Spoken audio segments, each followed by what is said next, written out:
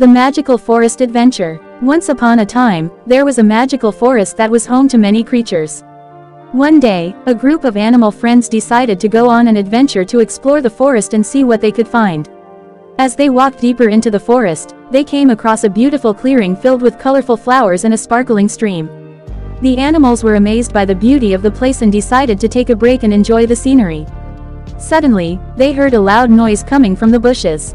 They were scared at first, but then they saw a little fairy emerge from the bushes. The fairy introduced herself as Tinker and told the animals that she needed their help. Tinker explained that the evil witch had stolen her magic wand and she needed it back to save the forest. The animals agreed to help and set out on a mission to find the wand. They searched high and low, through the forest and over the hills, until they finally found the wand hidden in a cave. The animals were overjoyed and brought the wand back to Tinker. Tinker was so grateful for their help that she granted each of the animals a wish. The rabbit wished for a carrot garden, the squirrel wished for a nut tree, and the bird wished for a birdhouse. The animals were so happy with their wishes that they decided to make them clear their new home.